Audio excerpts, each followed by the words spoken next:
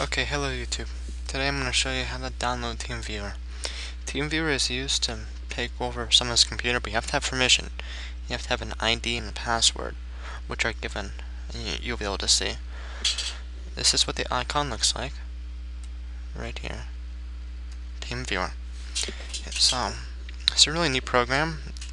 What's going to happen though is if you have it for a while and you use it, what's going to happen is it's going to ask you to subscribe again where you, all you do is just enter in your email address and then just confirm it. But it's free and it's really useful. I use it all the time. Like when someone has a problem on their computer, what I do is I say, can you please download TeamViewer? And they do. Then I ask them to give me some certain numbers, which uh, they have a number ID and a password. And then then they can watch mm, and their mouse moves. It's really cool. Alright, but what I'm going to do is I'm going to show you how to download this, and then maybe if you have enough time, I'll show you how to use it. Okay, what you need to do is you need to open up your Internet Explorer, Safari, whatever you run, or, whatever you prefer. Me, I want to use um, Foxfire. Let's give it a second while it loads. Ah, whoops, not supposed to say. Why is this coming up? Oh, I just switched over my computer to administration. And now it just... I had to do that so I can do some certain stuff, but... Alright. That's my default. Okay. We are on Foxfire. Sorry about that delay. Okay, what you need to go to is www.tamviewer.com teamviewer.com Okay, you should see a site that looks like this, you know, TeamViewer. See this girl that pops up. Okay, what you want to look for is download now for free. Yeah, right here. Click it, save file. Now, is this what's going to come up?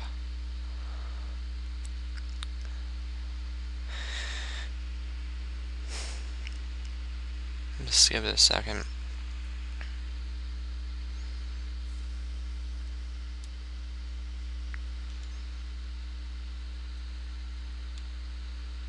And the best part about it, while I was noting, is this also works for Mac.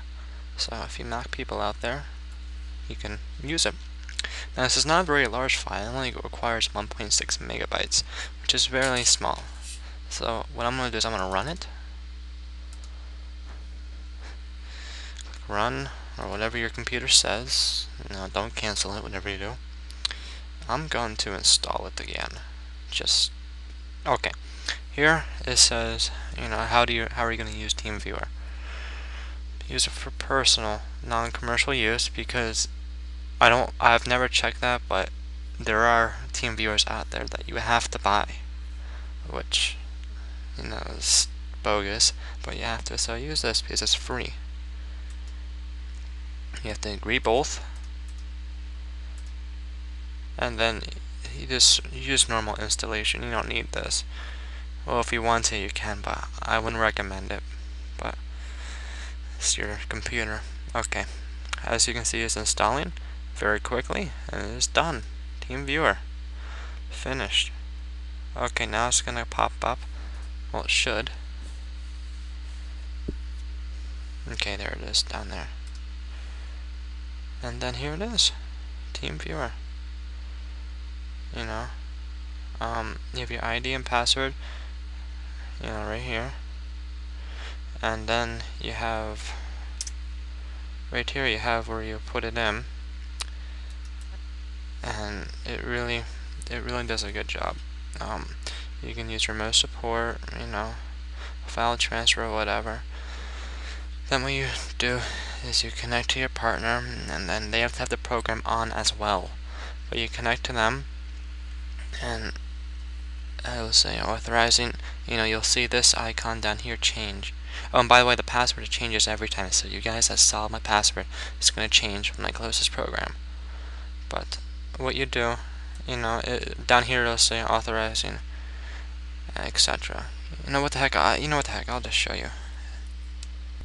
Okay, this is the part that's probably gonna make you hackers mad, but you have to have the person, the person that has this on the other pro on their other computer, they have to have it open, and they have to redo off passwords and ID numbers, which change every time. So I'm sorry, hackers, it's not gonna be that easy.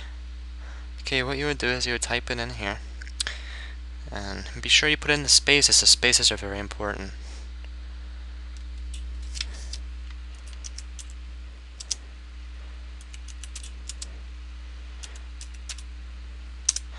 Then you're gonna connect to partner. And then here's what it says down here. This is setting up secure connection. So all it's doing is just connecting, contacting the computer and say, hey, I want to connect. You need to enter the password. Please enter the session password as displayed on your partner's computer. And as I said, this, these numbers change every time.